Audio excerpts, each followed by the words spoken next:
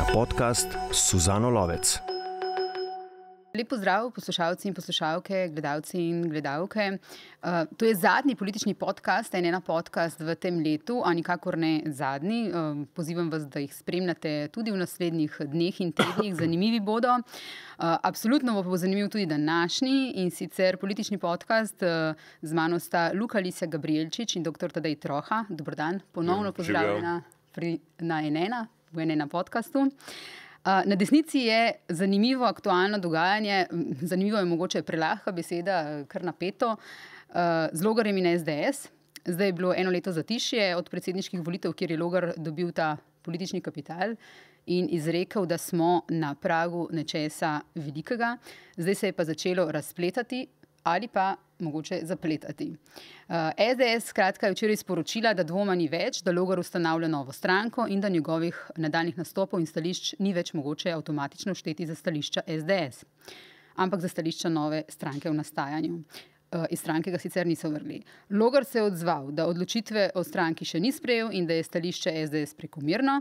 Janša je na to na um, Twitterju rekel, da izvršilni odbor ni sprejel nobene odločitve v povezavi z Logarjem, temveč je le ugotovil dejansko stanje in da če poslanec Anže Logar ne bo ustanovil nove stranke v roku enega leta in nas o tem pravočasno obvestil, kot je napovedal včeraj, potem ni nobenega problema. Uh, Luka, uh, kako si lahko voljivci razlagajo to stanje, kako izgleda voljivcem to stanje, um, kaj se v bistvu dogaja? Jaz mislim, da voljivcem zgleda to stanje tako, da v tem sporu med Hamletom slovenske desnice in SDS-om izpade boljši SDS. In zdaj smo povedali tako rekoč vse. Mm -hmm. Zakaj? Jaz mislim, da on s tem svojim neprestanim zavlačevanjem in ustvarjanjem uh, nekega suspensa, ki je postalo že grozno dolgočasno, um, si dejansko zelo aktivno zapravlja politični kapital, ki se ga je nabral. Jaz razumem, seveda, zakaj to počne. Ne? Zato, ker pač v Sloveniji je težko, kjerkoli ne Sloveniji, je težko ustanoviti politično stranko tri, dve leti in pol pred, pred volitvami, um, brez pravzaprav za zavestjo, da, da, da, da bi bila taka poslanska skupina majhna, nepomembna v, v, v parlamentu. In za zavest, da ko bi prišlo do, do prvega volil, pomembnega volilnega zmenka, da tako rečem, bi bila že v bistvu uh, uh, izguljena ta stranka. Mm -hmm.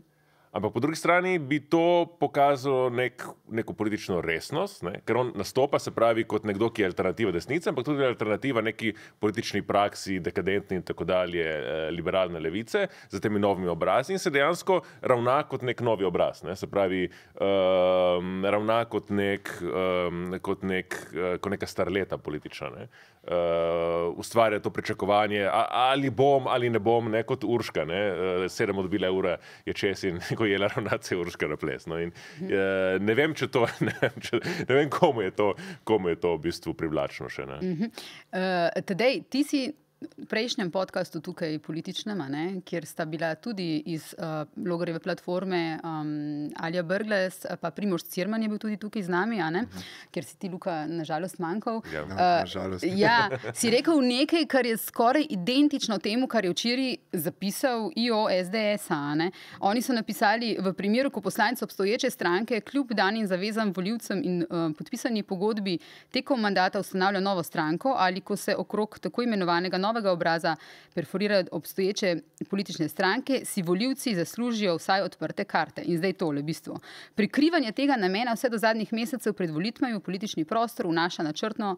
Uh, namerno načrtovano zmedo. V interesu voljivcev in poštene volivne tekme je, da se različne alternative pravočasno in jasno predstavijo. To si ti rekel zadnjič.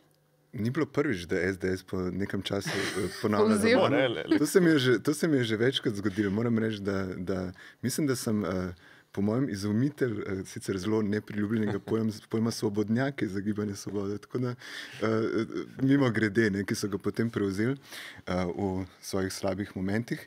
Uh, ne, mislim, da je to, kar je Luka rekel. Yeah. Ja. Težava je in to je, kar, kar je treba, kar je narediti. Zato ima seveda je, sem imel jaz prav in ima SDS prav in logar ne ve, kaj bi, je ta elementarna težava, da v Sloveniji niso navajeni več politiki ustanavljati strank ja. dve leti pa pol, skratka v obdobju, ko se to spodobi. Uh mhm. -huh. Ko ti vedno se reče, ok, mi ustanavljamo, mi govori se o nekem tlečem gibanju, o nekih sestankih, lahko hodiš, ne vidiš, pol, greš mimo kakšnih hotelskih aval, pa vidiš te ljudi takoj, kako začnejo tam posedati, pa se pogovarjati, tudi če nisi požaren, pač to opaziš, ne samo da ne fotkaš in ne govoriš o kroka. Um, Svetka ljudje tam uh, se znakujejo, ne, vse se kao dogaja, ampak nobe, javnost pa o tem ne ve in se pač računa na ta, caka, ne, zdaj pa ne.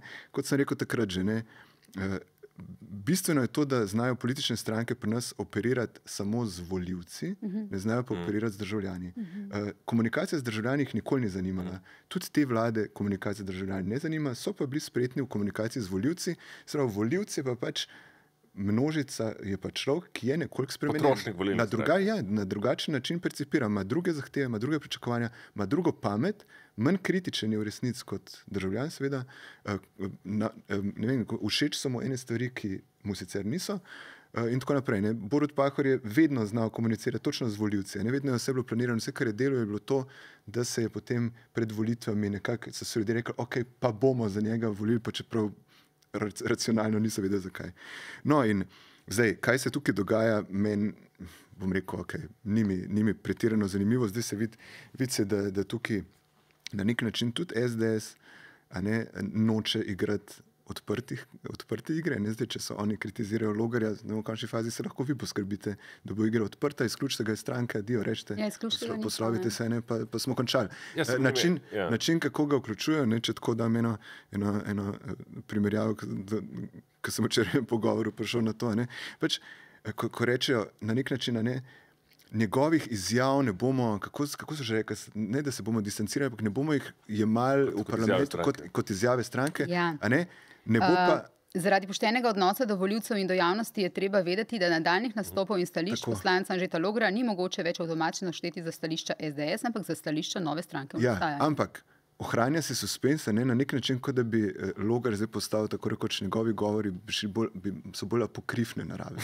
Ne, in če bo nekoč, a ne, rekel, ja, so pa apokrifni tako pending na nek način, ne, pač vedno se lahko še vključijo v, v, v Biblijo, ne, v pravo, v uradno, v, v kanon. Tako da mislim, da, da, gre, da gre za nekaj tajzga. Se pravi, ampak če, čiste, če to pogledamo bolj, rekel, z manj heca, ne, se vidi, mislim, da tukaj je ta mehanizem. Vejo, da na nek način, pa zdaj ne govorimo o tem, kaj so zmenjeni, kako so privatni, ampak kako zadeva deluje. Da um, zaenkrat eh, jim lahko koristi in uh, pridobiva politične točke ravno na način, da na koncu ne bo ustanovil politične stranke, ne? da bo prišel nazaj, da lahko ta, cel ta odmik, pa vrnitev nazaj, mogoče se, njim, mogoče se jim pa to splača. Se pravi, da se kako rekel, dela, kot da ustanavlja novo gibanje, pridobiva določene simpatije, navezuje nove, um, nove, nove navezave ne, z mhm. gospodarstvom, recimo, in tako. In potem njih v bistvu, on se sicer vrne v SDS, ampak vsi bojo percipirali SDS zaradi tega, ker se je on vrnil not v polni miri, se je SDS očitno spremenil in postal boljši. Demokratičen. Bolj demokratičen in, in bo. Razumem, se, se razumemo, o čem govorimo. Ne se pravi, da Eh, ena strategija, ki se jo vidi, kot okay, ustanavlja novo stranko, pa bo potem po volitvah pa stopili skupaj, ne, pa se združili, se štiri glasove in se na ta način ekspandira zadeva, ali pa bolj na ta način, to je, se mi zdi še vedno bolj verjeten, da vse ostaje tako kot maltizera, ne, da se vse v nekem malce usporednem svetu dogaja kot ustanavljanje nove stranke in da potem na ta način se nalepijo gospodarstveniki, um, volivci, razni vplivni, vplivni ljudje na logarja in jih potem on tako rekoč pripelje v SDS in kaj bojo, in oni ne bojo nikoli rekli, o, zdaj pa podpiramo Janša, rekli bojo, podpiramo ta del. SDS-a, ki je Anžel Logar, uh -huh. in SDS v celoti, ki je zmožen Anžeta Logarja tolerirati in ga sprijeti in ga še vedno metrati. To je eh, strategija, po mojem, tako podobna drugače, ampak podobno Brgle s SMC, ker, bil, ker so ljudje volili za SMC, Milana Brgleza, ki ni bil šef SMC, mm -hmm. Tako, tudi do, vseh, do samega konca. Mm -hmm. Mislim, da je dobro rekla naša komentatorka in novinarka Meta Roglič, eh, ne, kakšen je tu scenarij, veste samo Janša in Logar, pa čisto možno, da v bistvu Logar ne. ne? Bi se strinjal. Ne, mislim, da tudi Janša ne. ne. Mislim, ne, ne, ne Mislim, mi, to je sicer značilno ne, za vse družbe, in jih je vedno več, kjer imajo ljudje izrazito občutek, da nimajo nobenega nadzora nad, nad razvojem političnih dogodkov, da potem se razvijajo te razno razne, um, te razno razne teorije zarote. Kdorkoli je kdaj delal v arhivih, ne, ima zelo majhno, uh, majhno ver v teorije zarote, ker uh, če se ukvarjaš z zgodovino, vidiš, kako neprestano stvari bežijo ljudem iz, iz rok jaz si lahko predstavljam, da je nek mestrovanje, ampak smo videli, da nima discipline, niti da, da sam sebe, da svoj, svoj, sam svoj jezik eh, drži za zob, kaj pa šele, da bi, eh, da bi usmeril nek, eh, bi rekel, kompleksno, neko kompleksno mrežo različnih interesov. Um, to je neka malo baročna drama. Ne? Ivan Gondolič suze si na razmetnoga, ne? se pravi, bom šel, ne bom šel, se bom vrnil, se ne bom vrnil. Ne? Um, ki pa je, jaz zdaj bom rekel, zdaj poskušam iz logareve malo empatično to pogledati. On je v nekem v neki, v neki dilemi, ki je, ki je po eni strani komična, tako uh, operetna, ampak je po drugi strani pa res resna in pokaže na problem te stranke. Ne? Ker kaj? Pač ti imaš neko, neko stranko, ki se ima za etablirano, ki zdaj, ko smo videli, zna tudi govoriti kot neka etablirana stranka in tako dalje. Uh, In kaj tam deluje? Pač ti greš na volitve, ne z enim predsednikom, z nekim programom, izgubiš prvič, drugič, tretjič, četrtič, ne vem, vmes enkrat zmagaš. Um, In potem vidiš, da to ne gre več. Ne? Se pravi, imaš kongres, tukaj imaš nekega kandidata, ki je v bistvu presegel vse rezultate stranke doslej, on se lahko na tem kongresu profilira, zmaga, postavi novo platformo, ta stranka deloma spremeni identiteto, deloma gradi naprej. Tako pač delujejo stranke, bom rekel, v nekih etabliranih uh, parlamentarnih demokracijah. Ne? In ker SDS ne deluje na ta način. Ne? In ker seveda tudi na, na, na, na, na bi rekel, levo-liberalni, na levo-liberalni tabor ni nobene stranke, ki bi delovala na ta način, ker nimamo velikih etabliranih strank, ne, potem je, je nekdo, ki se znajde v taki poziciji kot logar, eh, postavljamo neka, nek, neka ulica brez izhodišča, nek kuldesak. Ne. In zdaj on mora v bistvu na novo iznajti, kaj bi on počel. Uh, Pričeval pa, pa po mojem, njegov problem je, da, ne, da ravno ne pokaže neke. neke on nastopa kot nekdo, ki bo zdaj prenovil slovensko resnico. Ne? Ali pa recimo nek tudi potencial, da bo prenovil slovensko politiko. Istočasno, vse to je tako grozno oguljeno. Zato smo v zadnjih 13 letih toliko krat videli od, od recimo od Viranta dalje, ali pa če hočeš eh, od um, zares dalje. In, in on, spravi, če bi, če bi ravnal bolj resno, Če bi rekel, dobro, jaz sem se prepoznal, da pač eh, v tej stranki ne moremo uveljavljati svojih interesov, uh, bomo ustanovili vlastno poslansko skupino. Če bi skratka poslušal, uh, ja, da je troho. Ja, bi bilo, bi, bilo nekaj, bi, bi bilo težko, ampak bi bilo nekaj novega. Uh -huh. In nekaj novega je bilo tudi rekel, dobro, jaz zdaj, kar bom naredil, je najavljam kandidaturo za predsednika SDS na naslednjem kongresu. Če mislim, samo problem je, da mislim, namen, da kongres pade po volitvah, nekaj takega. Ja, zelo, pri, zelo priročno. Ja. Uh, ampak hočem reči, to bi bilo, to bi bilo delovanje znotraj, to bi bilo resno, ne, ki, bi, ki bi bilo državniško, ne, ki bi dejansko projiciralo držo dr, državnika. Ja, to cincanje, on, on... to cincanje ne, mislim, ljudje uh, v Sloveniji se je vedno pokazalo, da, ma, da grejo. Um, da so sočustvujejo s politično žrtvijo. Mhm. Skratka, če bi njega zdaj oni vrgli ven, pred, se predpostavlja, da bi ja, ja, se eh, čutili ja, ja. z njim in uh, da bi ne bilo več simpatij. Ampak s tem tako imenovanim cincanjem, ja, ja, ja. on sam sebi škodi. Ne? Škodi tukaj se pravi, dejansko, če beremo izjave SDS, lepo so povedali. Ne? Tudi so se enkrat se pač odločili, da zdaj bomo mi resnično ravnali po našem statutu, po statutu ga ne morejo vreč ven, ni še nič, ničesar prekršil, ne? ni ustanovil še svoje liste, ne? kar bi bilo po, po, po statutu vsake normalne stranke, pač uh, bi rekel razlog za uh, izključitev. In zdaj v bistvu je ta, ta, ta uh, vloga mačke z mišo, kjer, kjer je pač že logar po, kako bi rekel, kot nekdo, ki je imel dosti kart v rokah, je zdaj v bistvu v poziciji te miši, ne, s katerimi se vsi nekako malo poigravajo. Ne. No, ampak uh, Alija Brgles je zadnjič tukaj ne, v tem studiu, na tem mestu, uh, rekla nekako tako, da bo ona njemu, glede na vse dogajanja, o katerih smo takrat govorili, ne, kar se je dogajalo v koaliciji in tako naprej, uh, da bi ona njemu svetovala, da isto stranko malo pohitijo. Ne.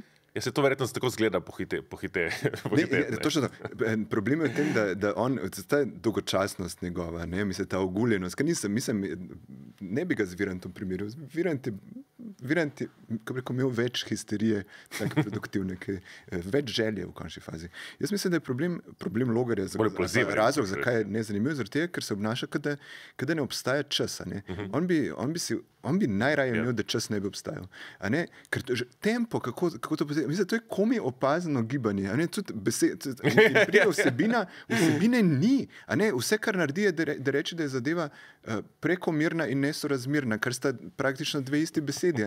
Mislim, hočeš nič ni. In, in ta, cel ta tempo, ki, ki sem pričal v bistvu neki realni dilemi, seveda, ki jo ima, nerazrešljivi, ker pač človek, ki misli, ja, je vse v redu, naj si misli, da bi hotel imeti kaj božga, ampak jaz se res vprašam, Dajmo se res fokusirati na, na pač to pozitivno vprašanje, ali on prinaša kaj koristnega, ali, je je, ali nas on zanima kot politična figura. Ker če ga bomo mi opazovali v, v razliki ali pa v, v ideji, pa nekaj, ne, ni ideje, ne, ne, ne rabimo ideje, že ta logan. Nekdani predsednik uh, Borut Pahor je v pogovoru ah. za uh, Radio Slovenija pozdravil oziroma pokazal naklonjenost. Prijatelje, že ja, smo ja. slišali. Ja. Ja.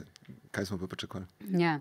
Uh, zdaj, uh, Kavel 22, ki tukaj je, ja. je to, da v bistvu. Uh, Če gremo naprej, v nobenem primeru se zdi, da uh, Janša logarja ne sme rezati, ne, zrezati to na, novo nastajoče, karkoli že to bo, ker v bistvu ga rabi, če bo želel še sestaviti vlado, kadarkoli. Ne?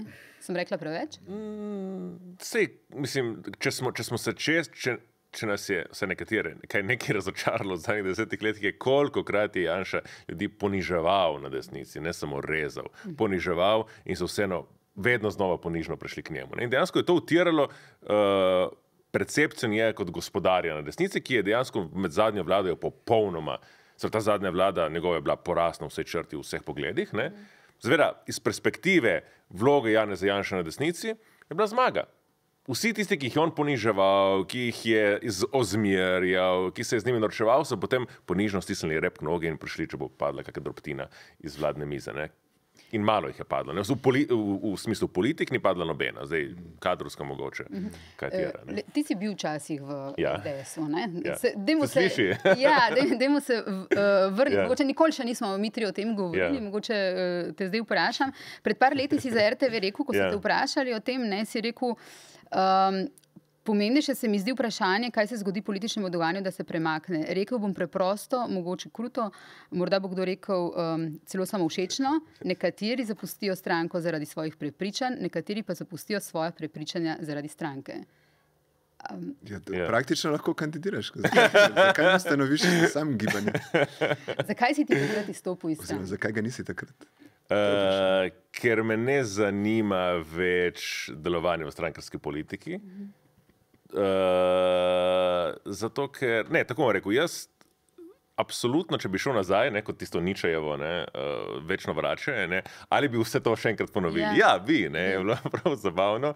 Mislim, da človek, eh, jaz vedno bom rekel in mislim to zelo iskreno, da. Mislim, da bi se mogli mladi ljudje, če imajo čas, če imajo željo, učenjevati v politične stranke, uh, ker so še vedno daleč najučinkovitejši, uh, bi rekel, kanal sodelovanja. Ker tudi z nekim, tudi bolj, bolj boljši kot recimo aktivistično, ker, ker aktivist nima tega feedbacka, ni, nima te izkušnje, ko se treba pogajati, ko je treba. Ko je treba, recimo, na lokalni ravni kaj doseči, mislim, nimajo tega smisla, kaj resnici politika je. Ne. In zato, ja, ja jaz uh, mislim, da bi se vsi morali v politične stranke priti ven razočarani, super, ne samo, ne, kako bi rekel, naj ne bodo razočarani, predno poskušajo. Ne. Mhm. Tako da jaz mislim, da to ni uh, nič, uh, ne, ne, nič, nič posebnega ali pa uh, dramatičnega, ni moje. Ja, tako, mislim, upam, da ljudje več ljudi imajo to izkušnjo. Takoj, ko najdeš ne. politično stranko, za katero misliš, da ti ustreza, učlani uh -huh. se mhm. vanjo. Mislim, se strinjam. Spet se strinjate. Kaj pa naj rečem, mislim, da se tle iz SDS ali norce del. Um, ne, mislim, če ja, še nekaj ja, reči. Kar, kar, kar, ja. To, kar si ti rekel, ne, ja. stvar časovnosti, to je ključno pri politiki. Mm -hmm. Če mora kaj znati uspešen politik, je ravno to upravljanje s časom. In dejansko Janez Janša niti ni tako slab pri tem. Ne. Njegov problem je seveda, da dolgoročno da je zelo slab strateg, ne. ampak taktično pa vedno zna ne, in se s to taktiko vedno rešuje. Ne. In zdaj, logar, to je problem logar. Ker vstopa politika ravno s tem, pričakovanjem, da on prinaša neko novo paradigmo. Ne? In istočasno, istočasno kako bi rekel, če ti, če ti uvajaš neko novo paradigmo, moraš z marsičem prekiniti, marsikaj moraš prelomiti, ne? move fast and, and break things. Ne? In on pa ravno ne. Move slowly and don't break anything. Mm -hmm. in, in to se ne sklada z, z tem, kar naj bi on prinesel v politiko. Ne? Ampak mogoče ravno to, kar kako rekel, njemu mogoče tudi ne ustreza, da bi bil človek, ki bi bil sprememba paradigme. On je, in to je že spet ta tragedija, ne? on je človek, ki je, in to mislim v najboljšem pomenu besede, tehnokrat, Eh, nekdo, ki, ki bi dobro deluje v sistemih, ki se znajde v politični stranki. In je pač v neki politični stranki, ki na, ki, na, ki na vrhu, ko prideš na vrh, vidiš, da ne deluje kot politična stranka, ki deluje že dolgo časa kot nek kult osebnosti, ne, kot neka sekta. Ne. To, kar si ti zadnjič rekel za gibanje Svoboda. Ja, ja, seveda. O sekti. O sekti no, to je še nekaj, kar SDS potem ponovi za me. Ja, ja. Tako. Um, Tako da ko izgubim službo, pod njihovo, pod njihovo vladavino, potem bi lahko zaposlil. Uh, napotila bi poslušalce in poslušalke, bra, uh, gledalce in gledalke tudi na branje teksta, ki ste ga uh, včeraj zvečer napisala Meta Roglič in Miha Orešnik uh, o ozadju tega, kaj se je dogajalo v zvezi z Logarjem in uh, SDS-em. Imata vidva tudi uh, en občutek, da, v bistvu, da smo v predvoljivni kampanji že zadnjih? Uh, ne, mislim. Ne?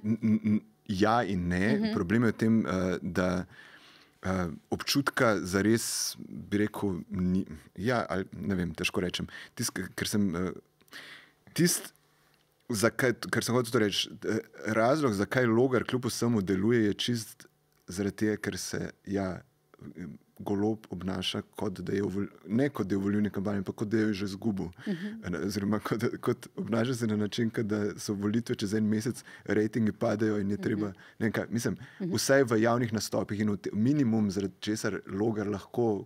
Postane sploh zanimiv, če se sprašujemo, zakaj je zanimiv, zakaj se mi tle pogovarjamo o njem, je to, da pač ja, glih ta počasnost, uh, nič, uh, nič povedati, in tako naprej, pač je, je kontrapunkt temu, kar golob dela, ne, oziroma kar je delo, prednje, prednje zdaj le zginulo za nekaj časa. Ne, mislim, skratka, te. Uh, Rekl sem neki, ljudje so začeli delati, potem sem si jaz premislil, kaj, kaj, ne, zakaj me poslušajo. Jaz, ne, uh, vse to sem jaz kratko rekel, jaz imam, jaz imam zdaj neke nove ideje, pa imam spet nove ideje, pa imam rešil uno reformo, pa to reformo. Skratka, uh, zaradi tega edin deluje, ampak da bi pa rekel v tem smislu, abstraktno, zdaj smo. Ne, ne, mislim, da bi tako rekel, če bi mogoče, da nimamo občutka, da smo v predvoljni kampanji, ravno zato, ker uh, min, kdorkoli, ki bi mene zanimal, da bi ga lahko volil, trenutno ne obstaja, je pa tako pasiven ali pa se ne obnaša kot del volilne kampanje. Tako da v bistvu mogoče jaz čisto osebno ne percipiram tega, ker. So te volitve, če je to volilna kampanja, so to volitve, na katere ne grem. No, zdaj, mm -hmm. zdaj tako enostavno mm -hmm. rečem. Mm -hmm. Ja, jaz predvsem, mislim, da, sorry, ja. sem, sem še to. Itak pa preden, bo, preden, bo, bomo, preden se bodo te volitve zgodile, pa ne vem kaj, bo itak te evropske prišle, pa bomo A, se umetno prefokusirali. O, pridemo še k temu. Ja. ja, je ta občutek, da smo v predvolilni kampanji. Zakaj? Ne? Zato, ker je pač smo v ne, v ne, zgodila se je neka vladna kriza ali pa kriza v vladi, ne? bolj kot vladna kriza v vladni stranki. Uh, in seveda To je pospešilo čas. Uh -huh. Začetek prejšnjega uh, uh, meseca je bilo zelo jasno, da pač zdaj se zdi, da se je zdaj začelo nek, nek moving ne? uh -huh. in da bomo kmalo, kmalo prišli do volitev. Uh -huh. Mislim, da je to zelo zmotna predstava. In v bistvu, da, da je s tem, uh, kako bi rekel, golob ima čas na svoji strani. In jaz mislim, da se tega on bolj zaveda, kot si mi mislimo. Ne? In bolj kot bi rekel njegova, njegovo delovanje, ki se tegne zdaj hektično, spodbudi k preuranjenim akcijam ostale akterje, bolj njemu to ustreza. Ker on ima dejansko še vedno, zelo uspel. Jaz mislim, da je poslanska skupina zdaj z temi čistkami bolj konsolidirana na Gibanje Svobode, kot je bila prej. Njegov nadzor nad vlado je večji, kot je bil prej. Uh, nadaljeval bo nastavljanje svojih ljudi na, na paradržavnih strukturah. Uh, In dve leti in pol je do volitve. Dve leti in pol je, je čas, da ljudje trikrat, štirikrat pozabijo, kaj se je zgodilo vmes, ne enkrat. Ne? Da, imaš občutek, da mu lahko zraste ta podpora? To, um, pač... Jaz imam občutek, da, da ni, ni potreba, da mu zraste ta podpora. Če, če, če, ne, če se ne, kako bi rekel, če vse počasi pada zdaj naprej, če, bej, se, če, vsak, če se bo vsak mesec ponavljal tak parec, potem je za vse. Ampak če oni ohranijo na tej ravni, je, je absolutno na konju. Problem je v tem, da se lepo zgleda. Tako, če, če, nje, če se na njega fokusiramo, pa lahko rečemo, da on v nekem univerzu lahko drži. Mislim, jaz ne mislim, da je on v paniki. Je univerzu realne politike. Ne, ja, ne, ne, sam na, na, rekel, na njegovo žalost ne, ima ponuja tudi okrog sebe ljudi, ki pa mogoče uh, so pa dejansko v paniki. Če, pogledam, če pogledate zadnjič, recimo Tačo, ki je bila, mislim, Tamara Vonta zgleda kot pa, na parlamentarnem odboru včeraj, je zgleda kot šok, ki ne ve, spoh, dobesedno včasih ne veš, kje je, kaj hoče.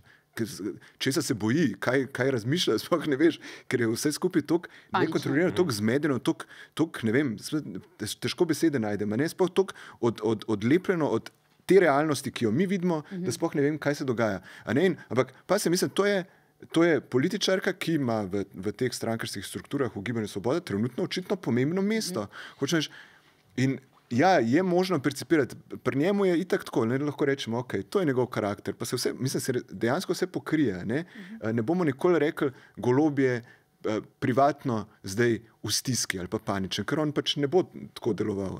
Ampak vsi ostali, kako bi rekel, te, uh, te, ki niso pač del najbolj intimnega, kako bi rekel, operativnega jedra, ki jih vidimo sam, ne vem, stati na kakšni tiskovki v zadju ali pa da izleti, ne vem, slučajno, pa čez kje ven. Um, so ljudje, ki so tako prešipki in sami, po mojem, objektivno tako zmedeni, da več ne vejo, kaj je, mhm. ker ne vejo, komu verjeti. jaz sem res ta feeling. Obnašajo se, kot da ne vejo, komu verjeti. Mhm. In proti stane, ti bi rad bil. Ti bi rad verjel paranojem tvojega vodja ali pa tvoje, tvojega štaba, ampak se hkrati bojiš, da te ti, na, na, da si ti njihova tarča. Ne, ja, da, ne, mislim, da mojem, obstaja neka čisto objektivna trenutna zmedenost in preplašenost med, med, med člani Gibanja Svobode, razen med tistimi, ki pač nimajo uh, to vrstne psihologije, tipa šef poslanske skupine, ki je itak zgodba zase. Um. A je edina možnost, da si vlada začne vračati to neko zaupanje ljudi, voljivcev, bom rekla, uh, da končno začne z reformami. Namreč to sta rekla tako bivši predsednik uh, Borut Pahor v pogovoru za Radio Slovenija, kot aktualna predsednica države Nataša Pirc-Musar v pogovoru za uh, televizijo Slovenija, nekako tako, da ta vlada lahko uspe samo na način, da začne delati, kar je obljubljala. Uh, ne, obljubljala je reforme, zaupanje si lahko pridobi. Uh, nazaj z delom. A se tukaj strinjate? Ja, jaz se ne spomnim, da bi obljubljala reforme v predvoljeni kampanji. Ampak potem smo pa slišali. ja, se to je problem. Um, ker kot vsaka. Kot vsaka levo-sredinska vlada, da slej, je v bistvu ta prišla z minimalnim programom. Ne. In potem je ugotovila zelo malo, da je situacija taka, da, da, da pač s tem minimalnim programom, ko je ta non-movere, uh, prej pred Janšem bilo vse v redu, nekako ne bo šlo. Ne. Mm -hmm. In, in to je seveda problem, ki je problem, zdaj, to je še tako že dolgočasno povedati, ampak je, je tako, ne, da v bistvu potem, ko pride stranka, pride in je bilo CRM, tako je bilo šarcev. In ko pridejo na oblast, dejansko ugotovijo, da obstajajo problemi, da obstajajo, bi rekel, stvari, ki tirajo neke koherentne politike in tako dalje. In potem je treba na novo iznajti, kaj, kaj je to stranka, kaj je to program, sredi mandata. Mhm.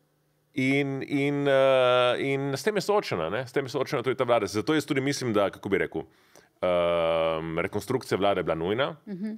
uh, Golob je na neki točki moral, moral se tudi, uh, moral, um, kako bi rekel, priti do te točke, da si je znižal podporo, recimo s takimi akcijami, da je konsolidiral, bi rekel, svoj nadzor nad stranko, da je, da je izvedel rekonstrukcijo vlade. Bolje, da je to storil sredi mandata kot proti koncu. Uh -huh res je privoščil ta, ta, ta parec podpornosti. Edino, kako bi rekel, um, zdaj manevrskega prostora za, za neke napake več nima. Ne? In je tudi vprašanje, to je zelo podobno kot pri Janši, ne? ali je te. Je ta, te bitke, ki je, ki, za katere se je zdaj odločil, recimo z Bobnerjevo, ki mu je zelo škodovala, ne, ko, sem, ko sem meni zdelo, da se bo zgodilo. Um, ali so bile pametno izbrane? Mhm. Se pravi, ali je rekel, zaigral začetne karte, ki jih je imel, ne, če gremo pri Taroku, ne, tis, uh, za, za pa, kaj je pobral tega.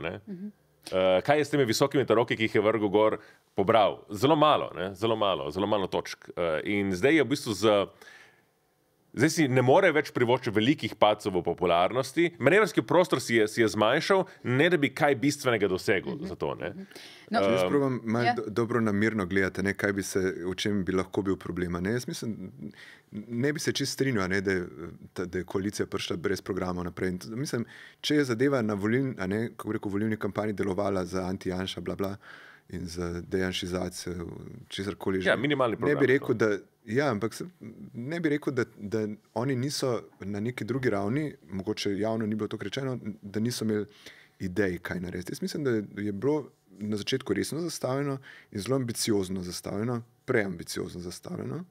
To um, se pravi.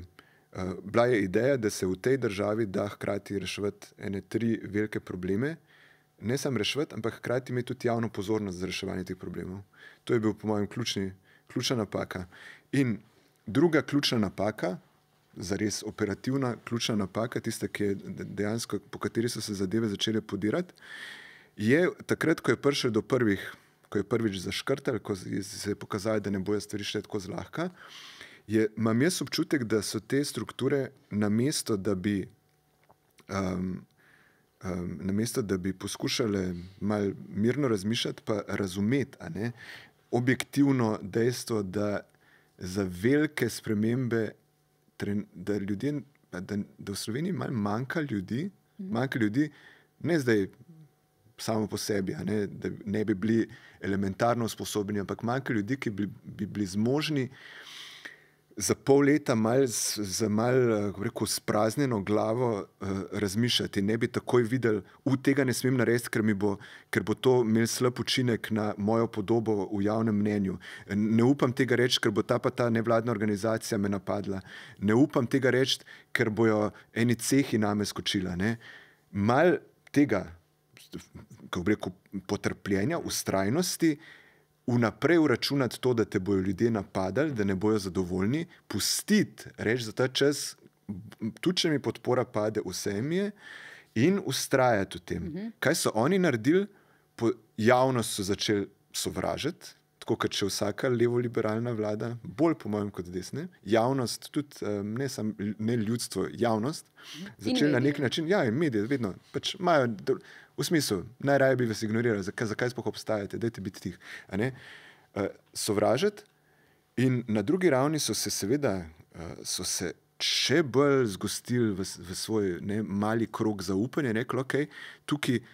Temu le ne morem čisto zaupati, to, kar sem pregovoril. Temu ne morem čisto zaupati, temu ne morem čisto zaupati, temu morem, ne morem čisto zaupati. Dajmo mi iti v to strategijo, da naredimo operativni center, uh, center zaupnikov, center moči, center, ki se gre pod mizo pogajati, ki gre pod mizo izsiljevati, ki gre pod mizo doseči svoje stvari. Uh, in ta zadeva ne deluje, tega, ker obstaja javnost, ker obstaja javna beseda. Obstaja, ne, kot sem rekel, zadnjič sem govoril za radio študente. Rekel, problem je bil v tem, če bi, uh, ne vem, Glob, Vesna Vukovič, pa Damir Črnčec, ne, to strategijo hotel zares peljati, kot si jo predstavlja, se pravi, nekega trdnega operativnega centra, ne, ki, ki deluje pod mizo, ne, eh, ne, kako reko, više ali pa nižje, kot vzamemo.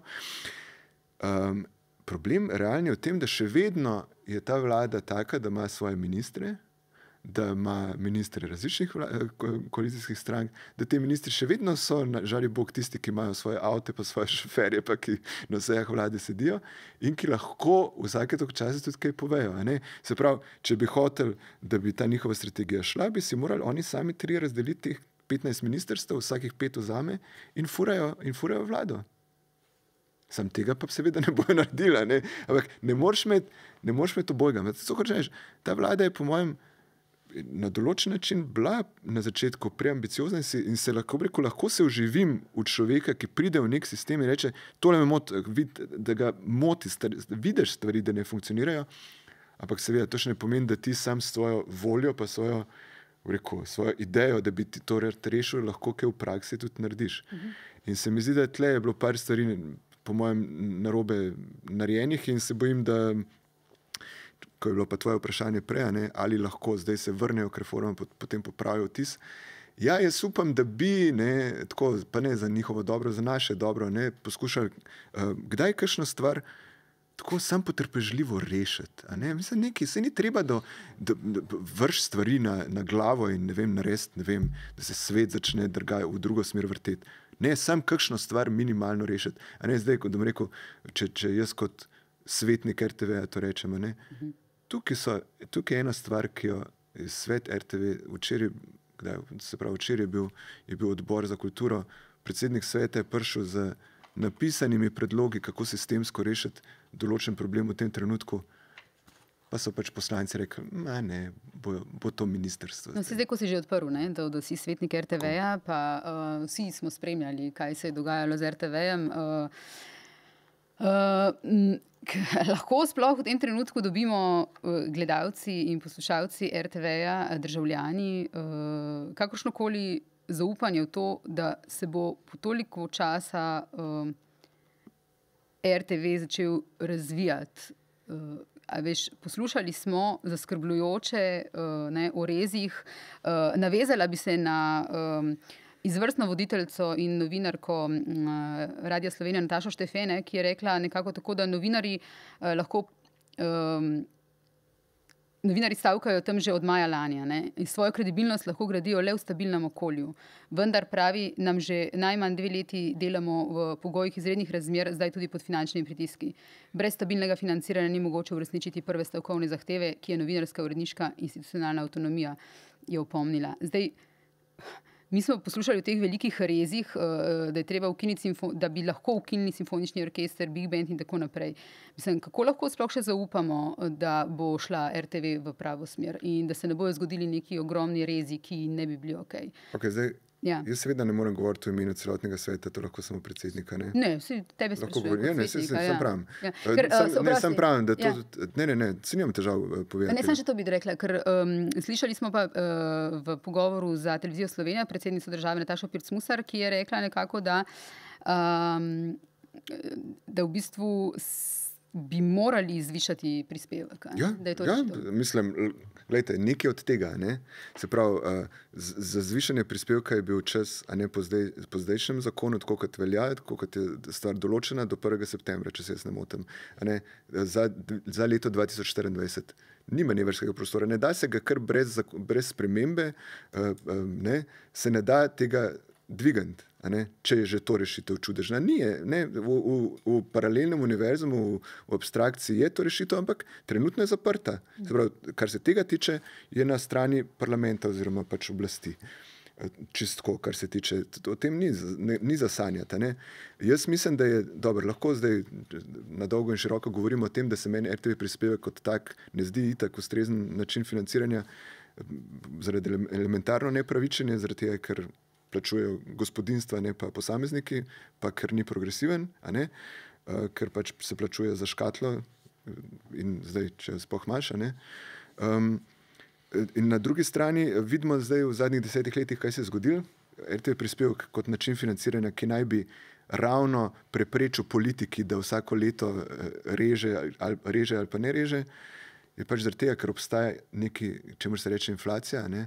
ker to obstaja je politiki odprl prostor, ne da kaj naredijo, ampak da ravno nič ne naredijo ne, in da na ta način eh, delajo škodo eh, temu sistemu, se pravi sistemu financiranja RTV Slovenija. Eh, realno je seveda ta RTV prispevek, oziroma RTV prispevek pa bi se moral zvišati v desetih letih za 30 odstotkov, če bi se delal v sklajevanju z inflacijo, zdaj malo približno govorim.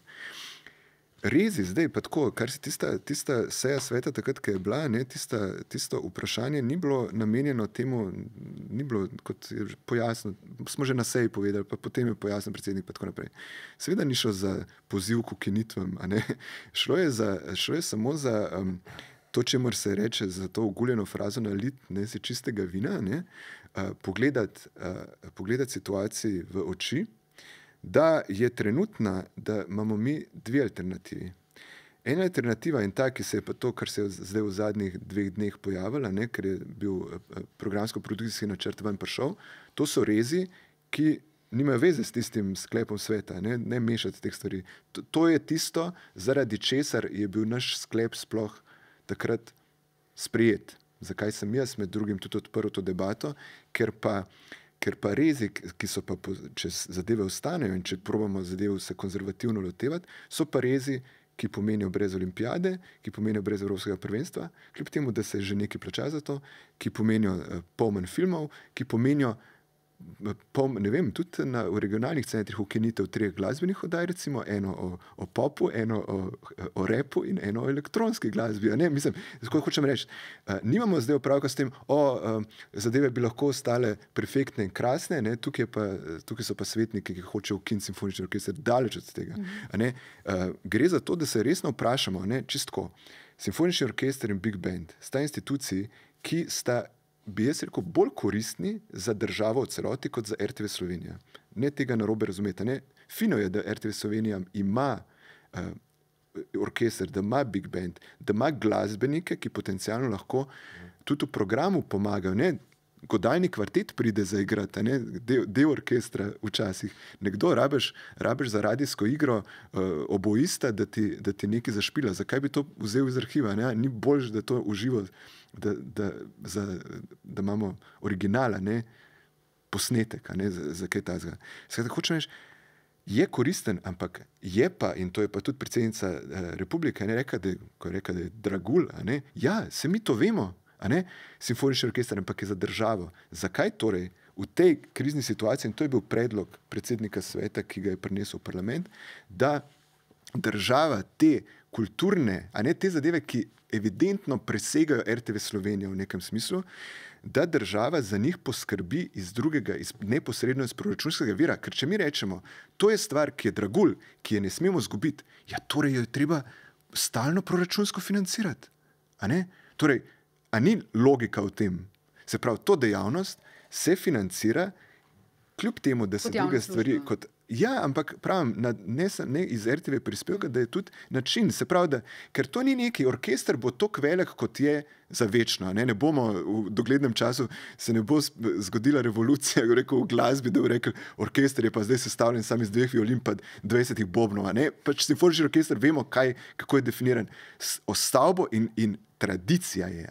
In mi to tradicijo hočemo ohraniti, in ravno zato je treba najti drug način. Eh, zato je, ne, treba najti drug način. Zato je, zato je to bolj samoumeven način financiranja direktno iz proračuna, če gre za dragulj, ki, je, ne, ki potem igra v raznih institucijah. Upam, da se glede tega strinjamo. Ne. Kar se tiče regionalnih centrov, recimo, če je drug problem. Tukaj je prišlo, po mojem, do nekega nesporazuma. Ne? Ker zdaj, da tako rečem, vprašanje je bilo itak tako. Sam da vidimo, ne, tudi da pride do javnega zavedanja v končni fazi, pa da mi se tudi kot svetniki zavemo, koliko te zadeve, da te zadeve obstajajo, da koliko te zadeve stanejo in koliko bolela bi ukinitev, ne, če bi do kdaj do nje prišlo. Ampak ideja je bila vedno, in to, če si greste sejo pogledati, ne, pred tem sklepom, tudi moje besede, ne, pa tudi na kakšni prejšnji seji, vedno je bilo podarjeno in to, kar jaz globoko verjamem regionalnih vsebin, tudi direktorica televizije, recimo, isto verjame, regionalnih vsebin je v centralnem programu premalo. Mm. Uh, poroče, jaz bi si želel, ne vem, v končni fazi slišati, kdaj, zakaj ne, če imamo, da, iz, da nekdo iz TV Koperka podistrija. Naredi prispevek za, za, za dnevnik, pa če tudi v italijanščini, zakaj pa ne? Zakaj pa ne bi razmišljali na ta način? Najboljše dajo slovenski politiki na radi Slovenije v italijanščini. Ja, ja, tako. Ne, ja, no, ampak hočem reči, ne, gre, ampak gre za vprašanje organizacije. Za vprašanje organizacije. Jaz tako včasih razmišljam, zdaj, ko sem tako razmišljal, zakaj je smisel, da obstajajo regionalni centri kot rekel, avtonomne televizije, avtonomni radi. Pa se vprašam, ali je to mogoče zato, ker je bilo včasih lažje posnet nekaj v Kopru, pa na televizijo v Koper prenesti, pa predvajati, pa mm -hmm. potem ta posnetek vzeti prek, prek TV valov, kar, ne, kar na, na tehniko se res ne spoznam. Ali usesti se v fičata, pa se pelati mm -hmm. po stari cesti čez razdrto, eh, pa, ne, ko reko. Pa priti v Ljubljano, pa dve ure, pa pol porabiti, pa tam prenesti kaseto, pa jo vršiti not v centralu na kolodvorski, pa jo zavrteti. A veste, kaj govorim? Pač nekaj so čist Um, verjetno so tle neke ostaline in RTV prispevke tudi ostalina tega, ostalina neke, nekih starih organizacijskih praks, ki so bile iz neke druge materialne realnosti zahtevane. Ampak še enkrat bi podaril, ne, brez strahu, a ne mislim v tem smislu, sam alternativa, bo pa moral nekdo nekaj narediti. Ker alternativa je pa, da imamo mi program, ki ga je že težko resno vzeti, ker je samo, ker bo zgledal isto, pa še manj ga bo. Okay. Vrnimo se nazaj, ja, smo malo, gremo, malo smo zašli. Ja. Ja. To, je, to lahko tudi zrežemo, ne pa da imamo kot posebno oddajo. Ja. Decembra smo, rekla sem, zadnji politični podcast. Če potegnemo črto pod politično leto 2023, kaj je prineslo Sloveniji in njenim državljanom? Zdaj, kje je tukaj zdaj Sloven zdravstvo, kje je pokojninska prihodnost, kje je to, kdo nas bo um, negoval, ko bomo stari in obnemogli, kje je prihodnost, uh, kdo bo učil naše otroke oziroma vnuke uh, v šolah. Hoče reči, kaj smo v tem letu kot državljani dobili ali izgubili? Nič. Hm. Nič, kar je seveda po eni strani tragedija. Ja. In po drugi strani mislim, da pod. Pa ne sem mislim tukaj samo na Janez Janša, mislim tukaj na, na pandemijo, na izjemno poslabšanje geopolitične situacije posod okrog Evropske unije in znotraj Evropske unije v zadnjih treh letih. Mogoče tudi ljudje so želeli ta nič nekaj časa. Ne? Se pravi, uh, ampak cena za ta nič je bila istočasno preveč drame. Ne? In jaz mislim, da, da ta, da ta, um, ta enačba. Ne? Uh, preveč hrupa za nič, ne se sliši tako banalno, je tista, ki, ki, ki, ki, naj, ki najbolj teži, recimo, zadnje politično leto v Sloveniji. Zlasti, če dovoliš, res ne, stopimo korak nazaj. Ne? Poglejmo, v katerem svetu živimo, recimo danes, na leto 2023, pa v katerem svetu smo živeli, recimo, ko smo, ko smo prvič bili tukaj pri tebi. Ne, ne vem, mm. mogoče bilo pred februarjem 2022. Mm. Mislim, s, uh, resno, v resni situaciji smo ne? v tem delu sveta. Mm. In uh, preveč energije izgubljamo za, za premalo učinka. Mm -hmm. Upam, da zdaj nisem par klišejev navrgel, ampak dejansko poskušam stvari nekako razumeti. Tako, z malo, z malo distance. Ja, se, absolutno se strinjam s tem. Mislim, da pač tudi če je kliše, mislim, je, je, je resničen. Ne, mislim, tako, um, ja, mislim, uh, tisto, kar, um, um, kar, kar skoraj ne morem ne reči. Včeraj sem zasledil, da je um, to, kar se že rekel, ne, od leta 22, februarja 2022 imamo dru, drug svet. Mislim, dve, dve vojni.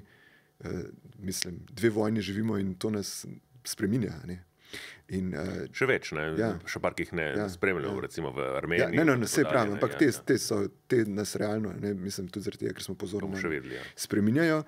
Um, ampak um, ne vem, če ste opazili in res bi vse gledalce in poslušalce napotil, da se odpravijo v, v, v park Tivoli v Ljubljani, mm -hmm. če ste iz Ljubljane in si pogledate, kakšna razstava je trenutno v, na promenadi. Na promenadi ima slovenska vojska, a veste, ko je ta promenada, ko ima tiste plakate, pa se pač menjajo vsebine. Že je tako, pustimo, kaj si mislimo o, teh, o sami tej postavitvi teh plakatih. Slovenska vojska, izjemno militaristične fotografije so tam v rekel, pred božičnem, prednovoletnem času, glih za turiste. In to se meni zdi z eno besedo, ne morem drugače, že bolano. Nimam drugih besed, bolano je to. Se pravi, uh, tudi z, napisi, ne, vojska, to sem tudi zadnjič, mislim, da govoril. Vojska se je v Sloveniji, tako smo upali, vzpostavila kot neka v principu miroljubna sila. Vse mhm. vemo, da je to na tek, pa tako naprej, pa da vojska ima svoje. Pa kako, kako je prišel ta? Ta odkrito, mislim, to so samo maskirane uniforme, to so samo, pa ne vem, pa nekaj prav napisi, ne v smislu, napis tudi spodaj, uh, ne vem. Tudi, urban, tudi urbani prostori, bojišče, pa ne, je eno od bojišč, ne, pa, pa kaže tiste vaje, kjer si ti v, neko priješ v neko hišo z vogalom. Mislim, tak užitek ne, na tem mestu, v tem mesecu, da tako rečem, prazničnem, a ne s cinglanjem okrog. Mislim, se to, jaz, jaz res nimam besed in to, to, se, to se bojim, da je to ta plus ki smo ga dobili ne, mm. na simbolni ravni, mm -hmm. da smo se pustili nekim določenim strukturam militarizirati v glavah mm. in sprejeti nekaj stvari. Ne vem, sorry, deset let nazaj, če bi to videl, mislim. Pa bi rekel, pod Janšo bi bil zgrožen, pa ne toliko, kot si zdaj. Mislim, hočeš, tam bi, še tam ne bi pričakoval tega. Mm -hmm. Jaz bom tudi nekaj ob koncu ja. leta rekla, uh, pa bo tudi mogoče klišejsko uh, zvenelo, zagotovo bo klišejsko zvenelo, ampak jaz si pa res želim, da bi. Uh, v tem letu, ne, pa nismo tega doživeli, pa si želim to za naslednje leto, da bi dobili odgovore in rešitve za uh, uh, zdravstvene probleme, ki postajajo vedno hujši, za probleme v zdravstvu, uh, za to, da bi vedeli, kako bomo lj, mi, naša generacija, pa naslednje generacije, v bistvu prišli do pokojnin, uh, kdo bo skrbel za, ne vemo, da je. Uh, Izjemno pomankanje ljudi, ki bi negovali ne, starajoče se prebivalstvo. Skratka, želim si, da bi vlada, katerakoli bo zdaj in v naslednjih letih, res razmišljala več o tem, kot vsem drugim. No, predstavljajte si situacijo, ne, tako, da bi potencialno, ne, ne, ne pravim, da to obstaja, ampak recimo. Predstavljamo si, da obstaja na nekem določenem ministrstvu ena skupina ljudi, ki hoče te stvari resnično rešiti in razmišlja o tem in deluje na ta način. In da rečemo, vse je že pripravljeno, potem pa zaradi tega, ker se tam uh, golob afna nekaj okrog, ne, pa ker se Damir Črnčec hoče svoj, svoj mastermind plan, trojno, trojne obrate, uh, kako, kako rekel, propagando zganjati in kako uh, politiko furati uh, uh, uveljavljene, vlada razpade in gre tist, vse tisto samo smeti. Mislim, tako hočem reči. To, kar si rekla, mogoče pa so te stvari že blizu pripravljene, ne vem, ne, ali pa če se hipotetično predstavljamo, uh, obstaja mogoče ne v vladi, mogoče obstajajo neki drugi ljudje ki, in obstajajo ljudje, ki hočejo resno delati, ki bi radi resno in tako tudi sam, a ne bi, bi rekel, predolg časa sem izgubil energijo s, tem, s temi dramami. Mislim, in, bi, in, in me res malo tudi reče, čisto osebno, res ti na polno začeti delati stvari in, in, in, in rešiti ene stvari v nekih malih ne, v, ne, v neki manjši meri. Ne, ne, ne nujno zdaj, da vsak, ki ima, vsak, ki ima pet minut cajta, pa ki brat nekaj rešil, reče: Jaz bi bil premijer. Vse, Andrej Loga, lahko tudi kaj drugega dela. Ne? Če se vrnemo k njemu. Recimo, ne, zdravstvo. Ne. Um, kdorkoli bi se lotil resne reforme v zdravstvu, bi se v trenutku začel spopadati z najrazličnejšimi interesnimi skupinami, od uh, um, zavarovalnice, uh, pa zdravnikov in tako dalje. In je to kako bi rekel, to. Ljudje, ki imajo ideje in ki imajo program, nimajo volje, da bi to počeli. Mm -hmm. In eden izmed razlogov mm -hmm. je ravno obratno od tega, kar mislite, da je, da v bistvu, če se ti prizameriš svojim kolegom, uh, zavarovalnici, ki tam odvedno in bo še vedno in ima, in ima moč, da te, da te sabotira in tako dalje. Uh, recimo, fa faksor, potem se ne moreš vrniti nazaj. Moraš tega nekaj imeti. In tisti, ki ti to lahko nudi, je oblast je recimo politična stranka, mašina, ki je organizirana dovolj močno, da ti, da ti nudi to podporo. Proti, recimo, zlasti tudi, recimo, če, če so mediji proti tebi. Absolutno ne. In brez tega, brez tega, da imaš ti, zato te dve stvari nista, bi rekel, dobra strankarska mašina, ki, ki razume, kako deluje oblast. In zato mora biti toliko, zato moramo imeti tudi neko tradicijo, in tako dalje. Je predpogoj za neke smiselne uh, uh, politike. Brez tega ni. Zdaj, problem pri nas je, da imamo, recimo, na eni strani samo neko, recimo, to je bilo izrazito na desnici, ne? SDS, ki je neka mašina, ne? uh, ki nima idej. Ki ima vsakih pet let neko drugo idejo. Ne? Recimo, od, se, se spomnite, kaj vse je bilo govoriti, od teh tablic, vsem uh, otrokom dali tablice, mm -hmm. pa uh, tiste reforme. Let, se, to, to, da v bistvu Janez Janša vsake deset let spremeni svojo ideologijo, to smo še tu malo pozabili. Torej, tam je ideja v bistvu oblast in potem In potem uh, program, ki se na to lepi, je popolnoma poljuben. Ne? Na drugi strani nimamo niti strukture, ki bi lahko to speljala skozi. Uh, in se pravi, brez tega, brez neke, neke kako bi rekel, neke, uh, nekega, neke strankarske mašinerije, brez tega ne gre. Ne? In, in v takem političnem sistemu, razpadlem kot je naš, je logično, da potem Eh, delujejo centripetalne sile, ne? da, da, da, v bistvu, ne, da deluje po teh, na principu teh, bi rekel, lobističnih skupin, majhnih interesnih skupin in tako dalje. Uh, podobno, če da, da rečem nekaj dobrega v slovenski vojski. Recimo, Pet let nazaj smo se, se, spomnite, se še spomnimo tistega, tistega škandala ne? o, o čevljih, uh -huh.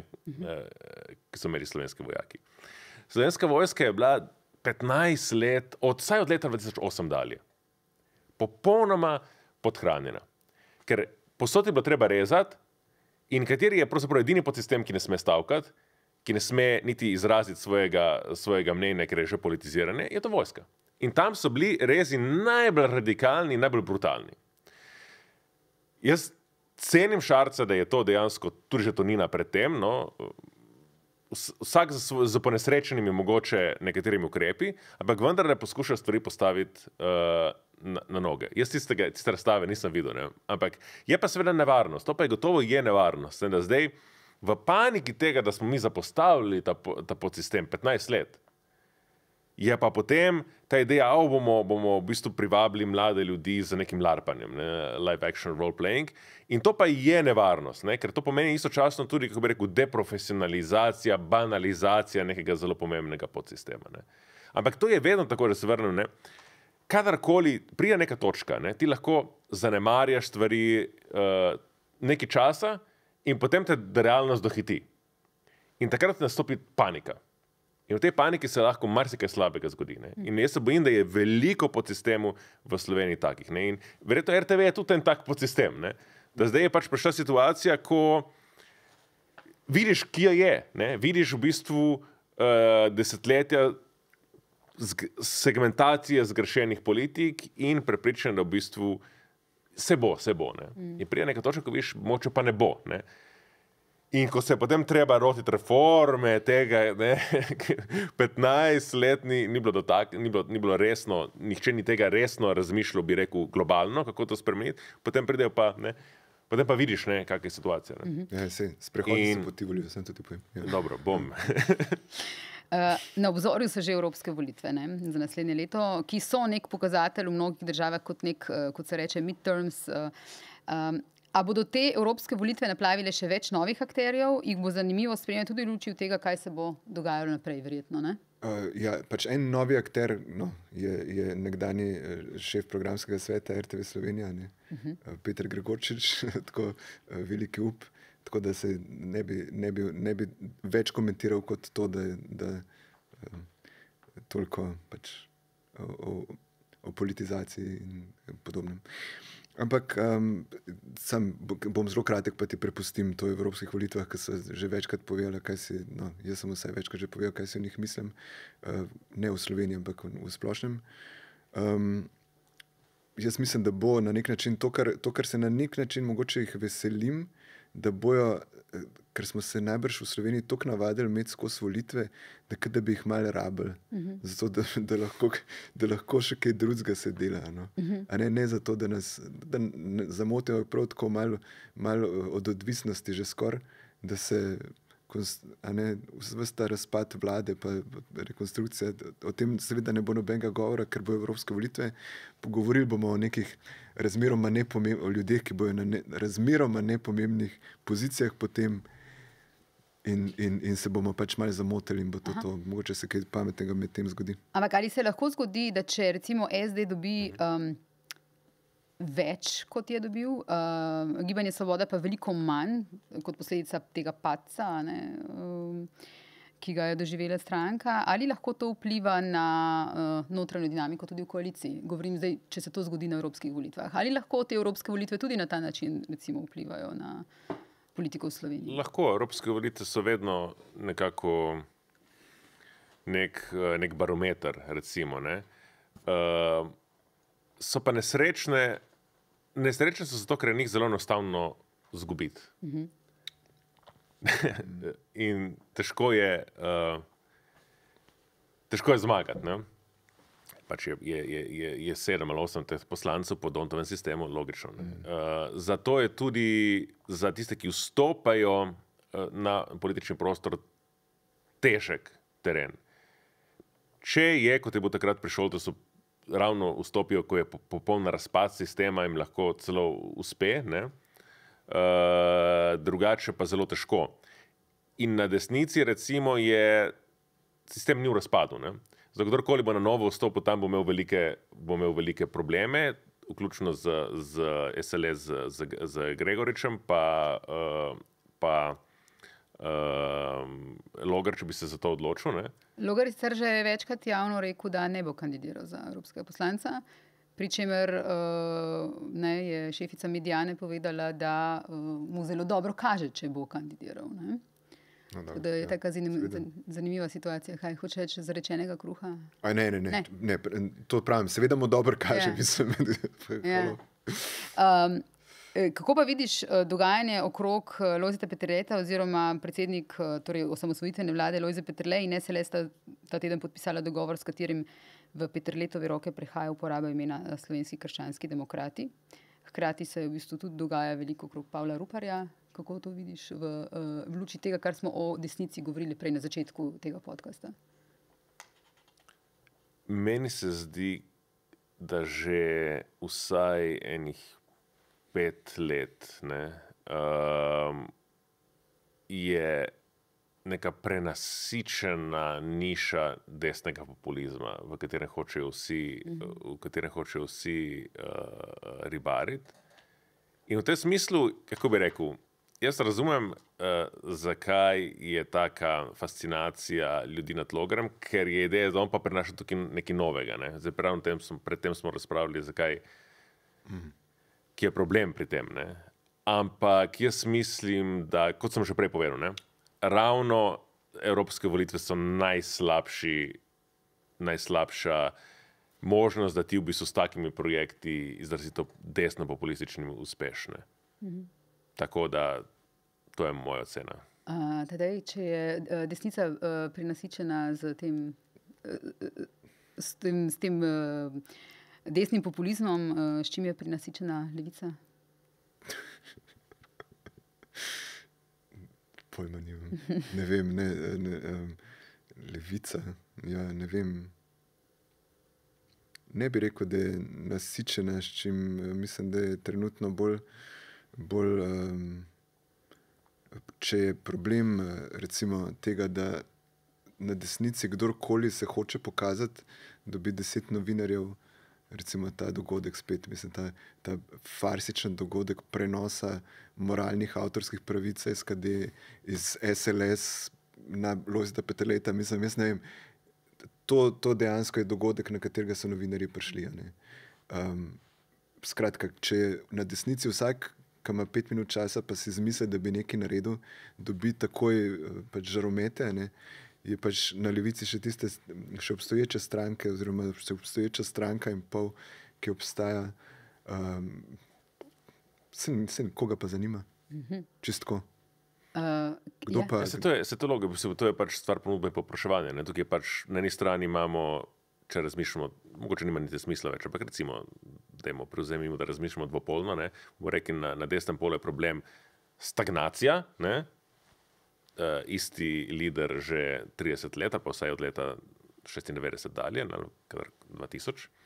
In na drugi strani je, je, je problem pač neprestana, neprestana vampirski sistem ne, novih obrazov. Ne, seveda, logično, uh, kjerkoli je neka obljuba, bi rekel, prenove na desnici povzame zanimanje, kjerkoli je neka obljuba stabilizacije na levici, povzame neko zanimanje. Ne. Uh, Uh, ja, in, pač, in vedno znova je to, je to pač, je, do tega ne pride. Ne? Vem, ampak mislim, da je, je tudi problem. Recim, problem.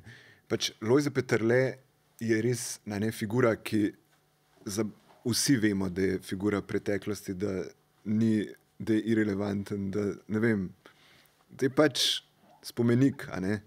To je pač tako, da bi zdaj, ne vem, Janez Drnovšek prišel ne, na, nek, na nek klub. Eh, liberalnih podjetnikov, ki bi hoteli neko stranko neki, ali neko gibanje ustanoviti, pa bi rekli, pridi.